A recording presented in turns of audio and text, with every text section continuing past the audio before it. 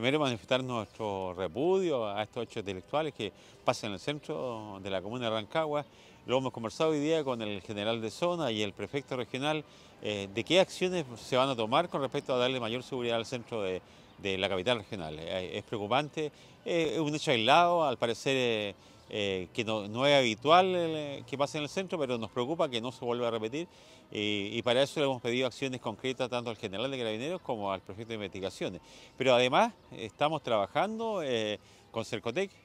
conversaba recién con el director de Cercotec, bueno, van a presentar un proyecto que tiene que ver con la seguridad del centro, que hemos estado trabajando con los comerciantes del, centro de, Rancagua, el de Amero Central, eh, y tiene que ver, ¿no es cierto?, con mayor iluminación y mayor instalación de cámaras de seguridad. Ese proyecto eh, está en, fase de revisión ya, hoy día ingresar los últimos antecedentes, lo revisaremos y el Cercotec eh, tendrá que implementarlo nosotros en los próximos meses. Nosotros lo que vamos a hacer es entregar financiamiento, no podemos hacer directamente nada